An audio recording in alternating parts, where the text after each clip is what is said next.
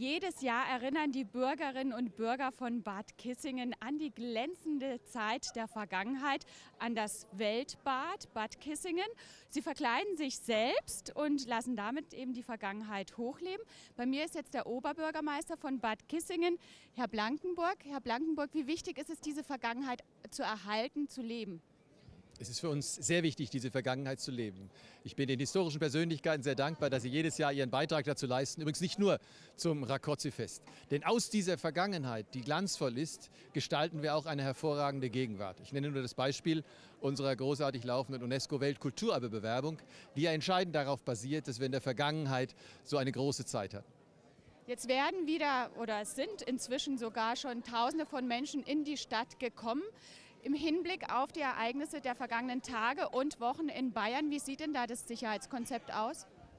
Wir haben entscheidend draufgesattelt. Ich sage ganz herzlichen Dank an die Behörden und Organisationen mit Sicherheitsauftrag, natürlich an erster Stelle an die Polizei. Wir werden Polizeipräsenz haben, auch sichtbar wie noch nie. Wir haben weitere Vorkehrungen getroffen, aber wir sind uns alle darüber im Klaren. Es gibt keine hundertprozentige Sicherheit. Wir alle hoffen auf ein friedliches, und wunderbares, schönes Rakozzi-Fest. Mit diesen Worten gebe ich einfach wieder zurück ins Studio.